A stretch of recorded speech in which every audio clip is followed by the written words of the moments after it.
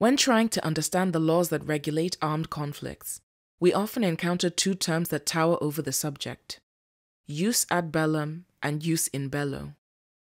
Jus ad bellum, Latin for the law on going to war, refers to the conditions under which states may resort to the use of force. Jus in bello, Latin for the law in war, refers to the norms governing behavior in armed conflicts while they are actually happening.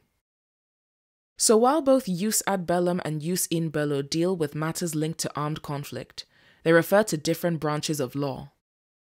Jus ad bellum is another term for the international law regulating the resort to force by states. This law determines whether such use of force is legal or not. Article 2, Section 4 of the United Nations Charter states All members shall refrain in their international relations from the threat or use of force against the territorial integrity or political independence of any state or in any other manner inconsistent with the purposes of the United Nations. Exceptions to this prohibition are self defense and authorization by the UN Security Council. Jus in bello is another term for international humanitarian law, IHL. IHL does not rule on whether an armed conflict is legal or not. That is not relevant for IHL. Instead, it sets clear rules for whenever there is an armed conflict.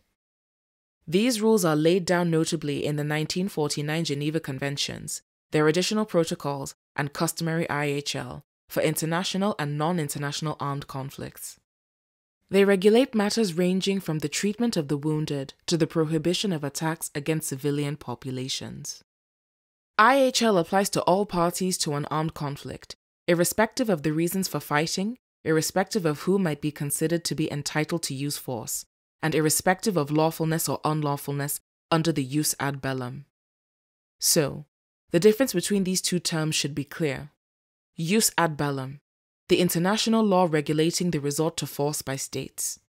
Jus in bello, IHL, a pragmatic set of rules that states have developed and agreed to for governing behavior in all armed conflicts. As long as armed conflicts take place, IHL is there to uphold the fundamental tenets of humanity, even in the midst of fighting.